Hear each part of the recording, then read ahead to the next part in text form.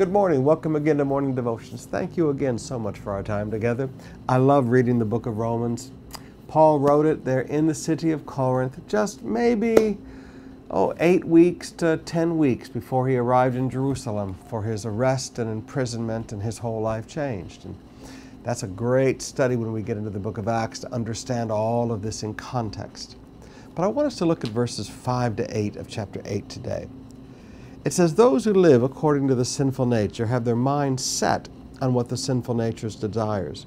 But those who live in accordance with the Spirit have their mind set on what the Spirit desires.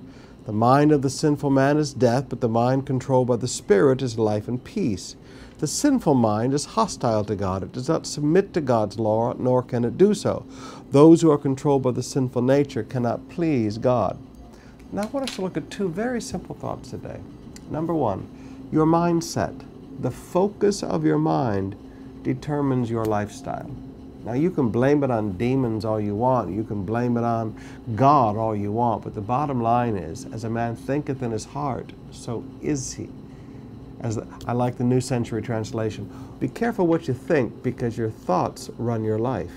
Now, Paul looks at us and says, now listen, if you focus your mind on the things of the sinful nature, you're, you're going to go do sin. If you, you focus your mind on the things of the Spirit, you're going to go live right.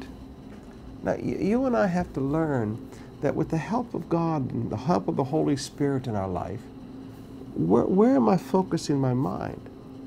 If I will allow my mind to be controlled by the Spirit, to be focused by the Holy Spirit on good things, then my life will be full of life and peace. But if I allow myself to, to focus my mind on the desires of the sinful nature, then there's nothing but death, separation separation of relationships, separation of my walk with God. I want to challenge you today. Get control of your mind. Don't just let your mind go where it wants to go. Learn to say, Holy Spirit, help me. Help me to focus my mind on the things of God. Help me to focus my mind on the things of the Spirit. Holy Spirit, help me control my mind.